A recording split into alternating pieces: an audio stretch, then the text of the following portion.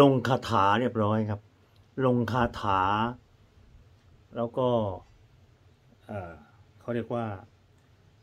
ตั้งใจให้วิในไกลบุตรพระเอกร้อยล้านคนนี้ครับ อยู่ใกล้ ๆครับ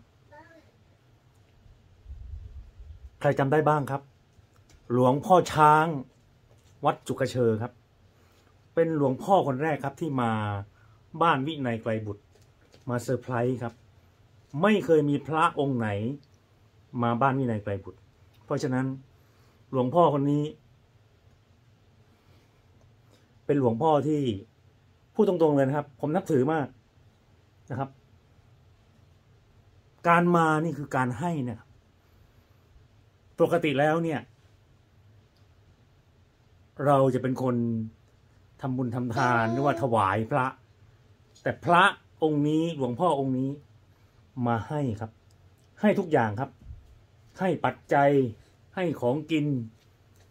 แล้วก็ให้รูปปั้น สวยๆให้ภาพสวยๆมาเคารพที่บ้านผม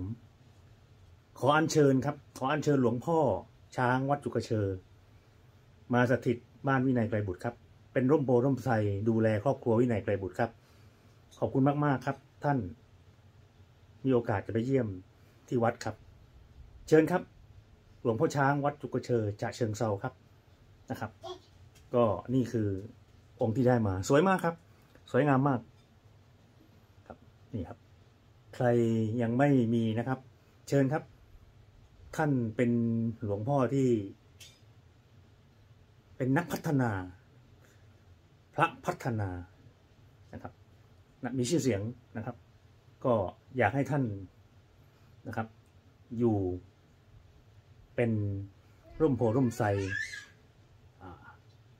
เป็นตัวแทนขององค์สัมมาสัมพุทธเจ้า แล้วก็เป็นที่นับถือของคนคนไทยทั่วประเทศ ทั่วโลก